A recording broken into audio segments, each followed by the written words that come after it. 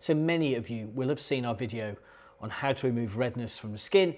Well, this is a variation on that theme. Thank you to everyone who asked me, can you also do it for things like green coloration? And here's a video to explain how to remove any color tint from a region of your face. I'm Paul, this is Mastering Portrait Photography.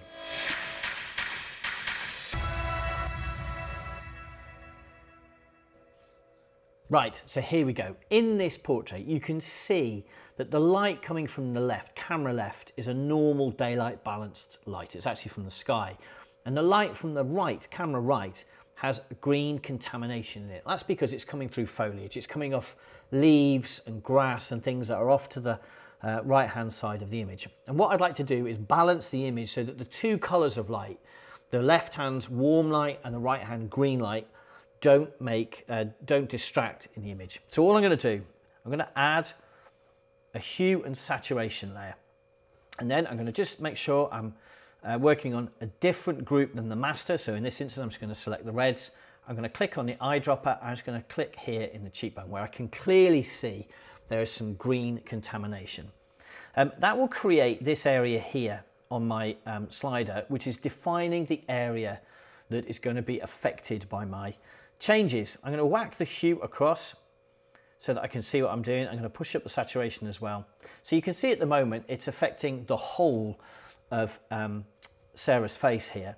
But if I just reduce all of these um, sliders here, so it's a much narrower band, like so, you can see now all it's doing is it's only affecting, or it's starting to only affect, the areas that are contaminated with green.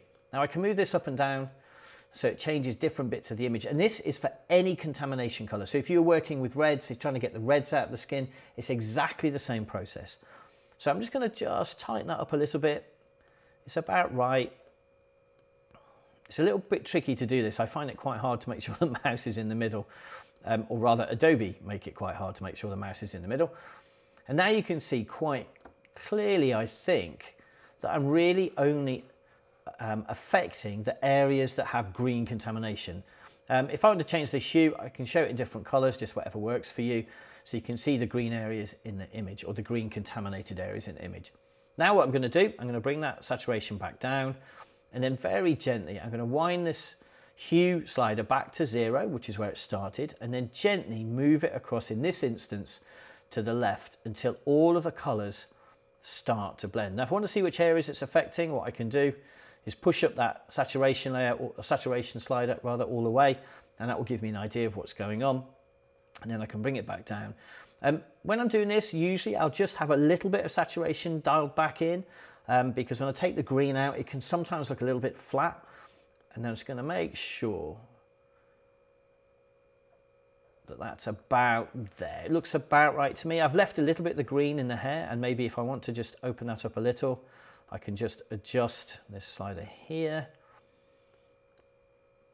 And you just adjust it until it's affecting all the areas you want. I'm just going to make sure that saturation is okay. That's good. It looks about right to me. And that's it. There you have it. Um, that's how to do it for the overall image. But what I then need to do is make sure that the mask um, on this hue and saturation layer is only affecting the skin tones. So um, with a uh, normal white on the foreground, black on the background, I'm going to hold down Command or Control and Delete, which will fill the mask with black, which means it's now doing nothing. And then with a soft brush, I'm going to paint in, in white on that mask, the areas that I want that hue and saturation change to affect. You can actually be quite loose with this. It's not a big problem because remember, um, I've already isolated the slider uh, to only affect the greens or the greens around the skin tone. And so I'm just painting in here, just making sure all the areas that I want, and there's a little bit on the hair over here, wasn't it? I was doing some green foliage just affecting that area there. Just under the eye, make sure all of that. So if I turn that off, you can see it goes green, turn it back on. Now, if I want to make sure that um, everything's working the way it should, again, I can just go back to here, go to the yellows, which is the um, part of the uh, hue saturation I was affecting, turn up the saturation. I'm just going to make sure it's here, um, painting it in just to make sure I've caught everything, anything I might not have seen, so I get a nice smooth transition.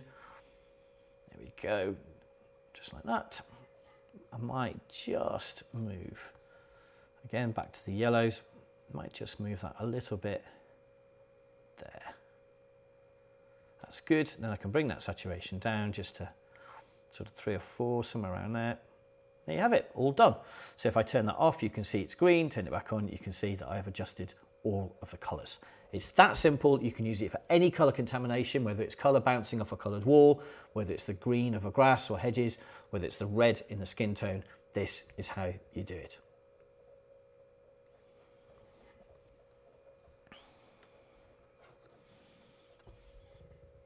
For more videos like this, please head over to masteringportraitphotography.com, which is absolutely full of ideas and techniques for everything we love about portrait photography. Take care.